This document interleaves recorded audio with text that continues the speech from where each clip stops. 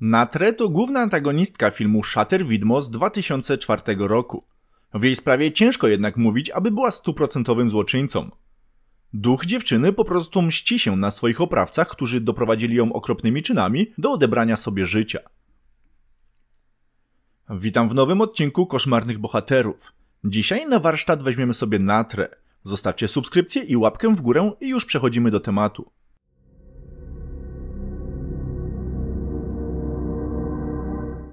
Natre mieszkała z owdowiałą matką, która wychowywała ją samotnie po śmierci ojca. Dziewczyna z natury cicha i nieśmiała wyjechała do Bangkoku na studia fotograficzne, gdzie przez swoje usposobienie nie miała zbyt wielu przyjaciół. Na jednych z zajęć poznała innego studenta o imieniu Tun, z którym wylądowała w parze przy wspólnym projekcie i między parą zaczęła rodzić się miłość. Mężczyzna jednak pod wpływem grupy swoich znajomych zdecydował, że będą oni ukrywać swój związek, ponieważ jego przyjaciele nigdy by tego nie zrozumieli, a na co dzień znęcali się oni nad słabszymi osobami na uczelni. Do takich osób należała również spokojna i cicha Natre. Pewnego dnia dziewczyna chcąc pojechać windą natknęła się na grupę chłopaków. Wśród nich był również jej partner Tun, który jednak nie chciał się do niej przyznać. Mężczyźni zaczęli znęcać się nad bezbronną dziewczyną, a gdy ta postanowiła się bronić, sprawy potoczyły się w bardzo złym kierunku. Natre została zgwałcona, a jej chłopak pod wpływem presji grupy sfotografował całe zajście, aby móc potem szantażować ofiarę, gdyby tak chciała gdziekolwiek to zgłosić. Natre upokorzona i załamana psychicznie po utracie swojej wielkiej miłości, postanowiła ze sobą skończyć.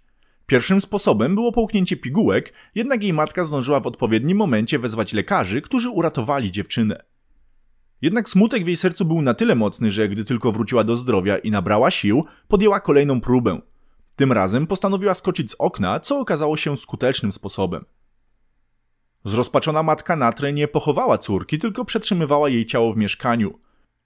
Po całym tym incydencie Tun prowadził zwykłe życie, poznał nową dziewczynę i zajmował się zawodowo fotografią. Pewnego wieczoru, gdy wraz ze swoją partnerką wracali z zakrapianej imprezy, potrącili młodą kobietę. Od tego zajścia w życiu mężczyzny zaczęły dziać się dziwne rzeczy. Miał dziwne wizje, jego zdjęcia zawierały różne cienie, a on sam od momentu wypadku cierpiał na spore bóle szyi, mimo że nie doznał żadnego urazu. Okazało się, że potrąconą dziewczyną był duch Natre, który postanowił zemścić się na swoich oprawcach. Wszyscy zaangażowani w cierpienie, którego doświadczyła dziewczyna, popełnili już wcześniej samobójstwo, skacząc z dachów lub okien. Natre na sam koniec zostawiła sobie Tuna, który najbardziej ją zawiódł, nie pomagając jej i bojąc się reakcji swoich przyjaciół. Zrozpaczona partnerka Tuna, widząc jak cierpi jej chłopak, postanowiła mu pomóc pozbyć się ducha i wyjechała wraz z nim do matki Natre, aby przekonać ją do kremacji ciała córki, co mogłoby pozwolić jej zaznać spokoju. Duch jednak nie przestał dręczyć Tuna, a jego dziewczynie ujawnił prawdę o incydencie, który dokonał się przed kilku laty. Ostatecznie Natre udało się doprowadzić do wyrównania rachunków, gdy sprawiła, że Tun również wypadł przez okno.